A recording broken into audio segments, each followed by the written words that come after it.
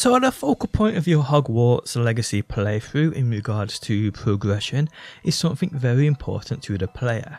This is the hub, this is the tracker, this is your guide to the game when playing and today guys I'll tell you everything you need to know about the Wizards Field Guide.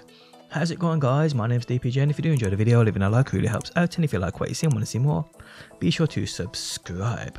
So the Wizard's Field Guide is the centerpiece of progression within Hogwarts Legacy. This hub will tell you everything you need to know about your progression while playing, but it's more than just that.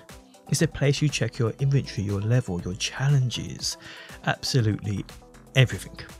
So on screen now you can see the Wizard's Field Guide menu. This is brought up by simply pressing pause on your controller.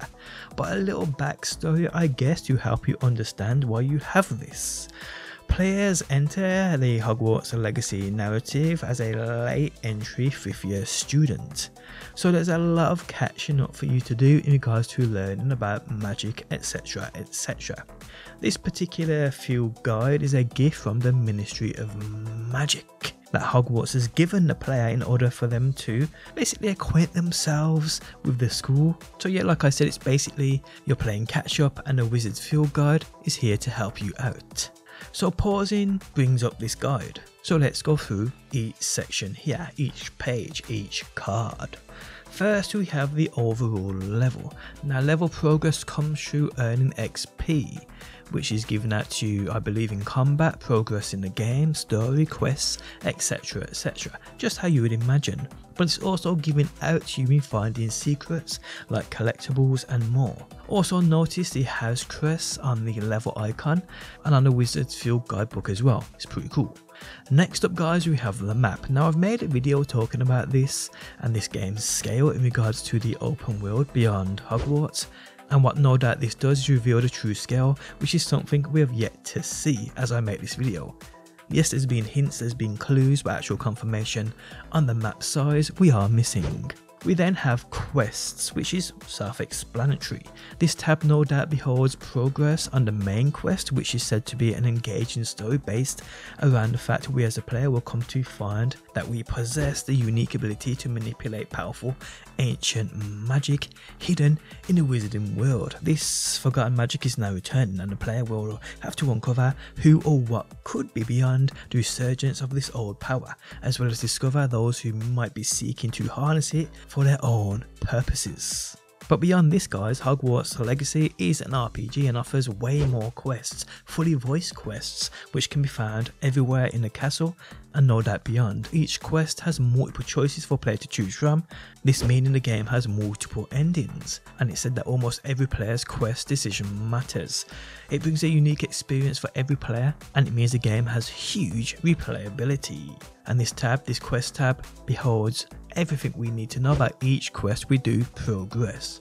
We then have Owlpost, which is a system. We don't exactly know how it works, but I'd imagine just like any in-game messaging system, going off the original books and the movies, we get a gist of what's going on here. This is where we will be notified on certain instances of progression tied into things we are doing, seeking out, or even yet to find within Hogwarts. Next up we have the settings tab, which I don't think I need to explain. We then have the challenges tab. Now this is a tab we do see inside. This is a page or card we do see inside. And as you can see here on screen, there are five further tabs within this challenges tab, which basically show uh, an overall progression for the player within Hogwarts. We have combat challenges, quests, exploration, field guide pages, one we have seen a couple being collected within the few gameplay reviews we have had, and we also have the Room of Requirements tab, which we do know will be a hefty one due to the amount that can be done here. This I am really looking forward to exploring more. Progression has always been something I love completing, especially when it's there on show for you to check out on the fly.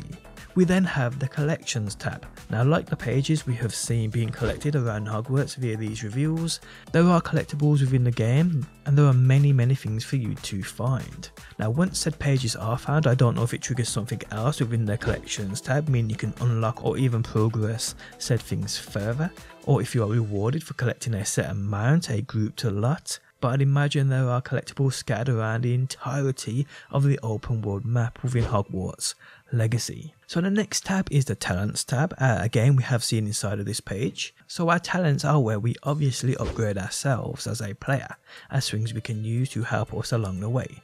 Now if we count quickly, it seems there are 50 talents for us to upgrade here, and we use talent points to unlock them. Now I first thought when we level up we would get a talent point but looking at this screen here we can see the player is a level 12 yet there are 15 of these talents unlocked and well that really doesn't add up. So there could be another system in which we use to earn talent points, I can't confirm that yet. Okay, so the first two cards on the left of this page, we actually don't see what these are. But if I had to guess, I'd say the first one represents spells due to its colour blue. And as we know, this is almost always associated with mana and magic in other RPGs. So that's what I'd imagine the first one is. The second one I'd guess would be something to do with gear upgrades of some sort. Now starting from the far right, because these we do know, uh, we have the Room of Requirement. This is now our home within Hogwarts and consists of basically our go-to to upgrade, craft, brew, raise and much more in regards to our player progression. We then have Stealth, where these abilities improve your ability to sneak around unseen, which is cool. We then have Core. These talents improve our overall effectiveness as a witch or wizard. So the talents tab is basically where we upgrade ourselves to progress further in this game. Next up we have our inventory card. This we don't see inside but I'd imagine it consists of things we found, collected or even farmed to craft, create or brew. Things would take back to the room of requirement things used to make those spells, for those tools which help us in battle, and much, much more. And probably even items to progress the story, quests, and things of that nature. And lastly guys, we have the gear tab. This is of no doubt a place where we switch in and out our gear we find, upgrade, or even created. A point in which we know is heavily customizable so that the player can play the game the way they want to play. But again, this is a tab we haven't yet seen inside so I'm just going off instinct here. But there we have it guys. That is what we know about so far of the Wizard's Field Guide. If any more news drops surrounding this or anything else Hogwarts related, I will have you covered right here on my channel. But guys, if you enjoyed the video, leaving a like really helps us out. If you think I've missed out anything important other players should know, please leave a comment down below.